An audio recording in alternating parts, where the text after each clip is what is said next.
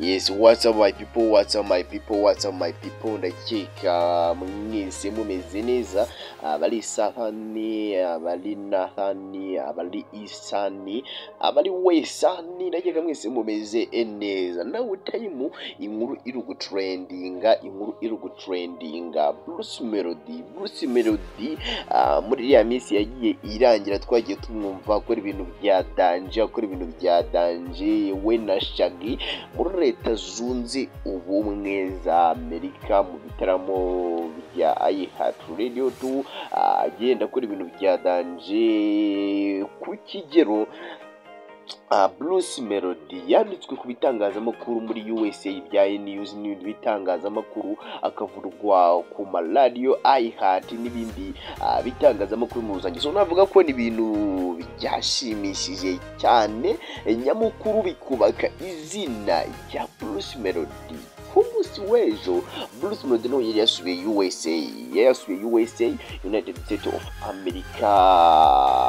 Mu kiganiro mu biganiro bya Rwanda Day Rwanda Day so hari ibintu byinshi. Bruce Melody navuga ko yafashe big speech yafashe big speech yakoze ibintu byiza cyane yaganije abantu yahishuye amabanga menshi uh, menshi menshi. Abantu batari bazi kuri Bruce Melody kuri Bruce Melody kuntu yatangiye hari inzitizi yagiye akomozaho yagendaga ahura na zo uh, mu ruganda rwa entertainment. Ibintu atari yarigeze avuga na rimwe muri Rwanda Day. Navuga ko Bruce Melody yavuze ibintu byinshi. Hari abayobozi yashimiye ariko nyamukuru ikintu nashimiye uwo bita Bruce Melody. Uwo bita Bruce Melody ni uko hari abantu yanenze yatanze big big big big and big appreciation. Ariko navuga ko hari abantu yanenze kuko byari bikwiye kandi ntabwo yameze nk'abandi bahanzi nyarwanda tuzi ngo agende anyura hirya no hino bino bano bo yabanenze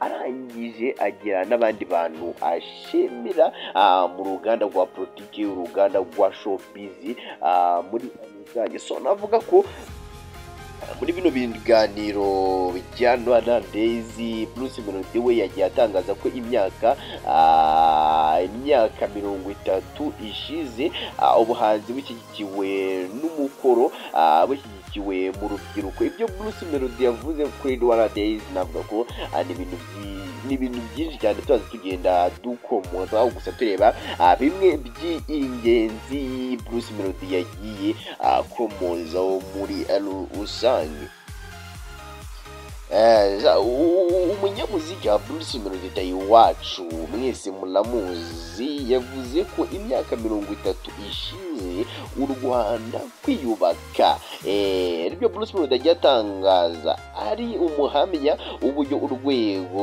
w'imyidagaduro rwateye imbere ash- ash- ashingiye cyane cyane ku bikorwa remezo bimaze kubakwa umunsi ku munsi uko bugenda bwira ibintu byose bigenda byubakwa mu gihugu cy'u Rwanda. Nibyo Bruce Melody yagiye agarukaho. Yabigarutseho kuri uyu wa gatandatu tariki eshatu Gashyantare umwaka w'ibihumbi bibiri na makumyabiri na kane muri Rwanda. Day yaberaga i Washington DC muri leta zunze ubumwe za Amerika. So byinshi twakomozaho eh, ikiganiro yatanze cyabimburiwe n'ijambo ry'umuyobozi wa Giant of Africa Bruce Melody. Ah, navuga ko ah, yahuriye mu kiganiro n'abarimo umuyobozi wa NBA Africa ah, Akamanzi ndetse n'umuyobozi wa Marison Cool Eugene. So navuga ko hari ibintu byinshi byinshi byinshi yarabiciyemo hagati.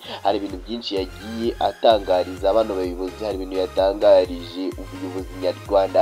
Hari ibintu yavuze kuri showbiz yo mu gihugu cy'u rwanda ibintu yavuze kuri showbiz international level. Hari ibintu yagiye akomoza ku buzima bwe ah, n'urugendo yagiye akora kuva yavuka tiri now so uyu munyamuzika wamamaye mu ndirimbo zirimo nka katapira yabanje kugaruka ku rugendo rwe n'umuziki kugeza ku ndirimbo mu rugendo rwe rw'umuziki kugeza ku ndirimbo yise big time big time Bruce Melody yakoresheje muri Rwanda yagiye akomoza ku indirimbo bita weshize Around weshize Around navuga ko ni remix indirimbo Bruce Melody yari yarise funga majo remix yakozwe na Bruce Melody na na Shaggy ni indirimbo yatumye Bruce Melody yandika izina. Niyo mpamvu muri bino biganiro bya Rwanda Days Bruce Melody Bruce Melody yakomeje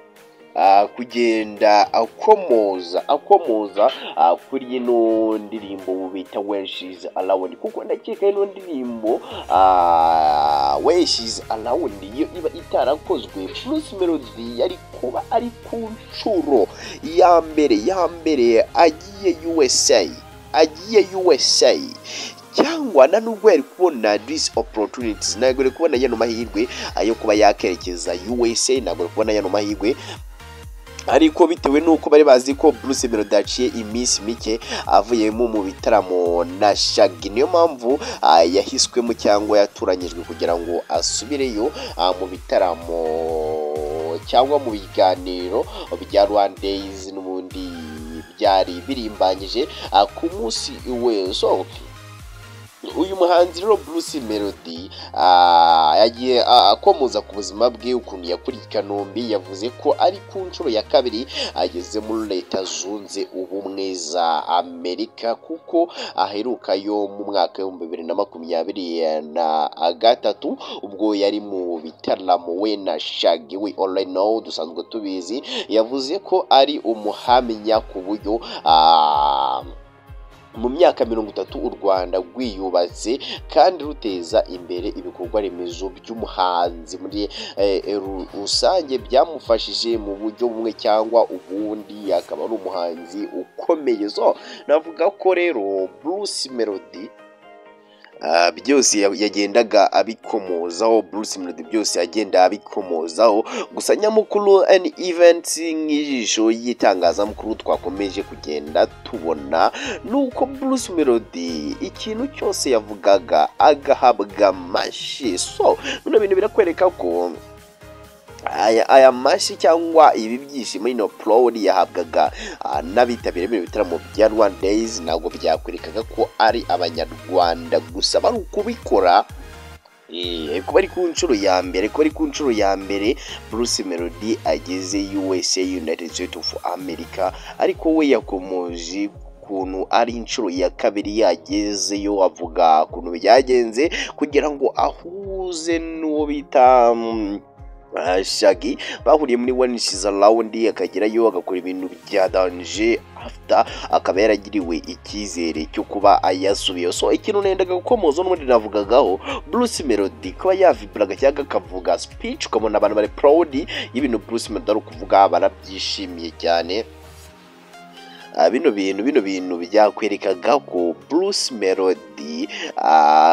Hari iyindi popularity cyangwa hari hari ukundi kuntu ari ukuba familiar cyangwa ari ukwishimirwa mu gihugu cya USA United States of America. Kuko ndakeka ntabwo ari umunyarwanda wese ntabwo ari umunyarwanda wese wapfa gukomerwa amashyi n'umutura USA n'umutura USA ntabwo navuga umutura Rwanda kuko abantu benshi benshi benshi abaturuka mu gihugu cya USA babonaga ko ari bo bari kugenda bakomera amashyi uwo bita itahi wacu Bruce M. so reka dukomeze reka dukomeze kuko ntago ndakeka ko ntago ari ku nshuro ya nyuma Bruce Melody muri bino bitaramo muri bino biganiro bya Rwanda Days avuzemo azakomeza kugenda avugamo kuko biraremba anyije. So tugenda adukurikirana new news day per day which reason behind kuba Bruce Melody ari ukomeje kwifashishwa cyane muri Rwanda Days niyo atavuze ariko Bruce Melody ntabwo ajya acikwayo aba yicaye hariya imbere abikurikiranye umurongo ku murongo. So nk'ijisho ry'itangazamakuru ibyo tugiye kuza tugukurikiranira umunsi ku wundi.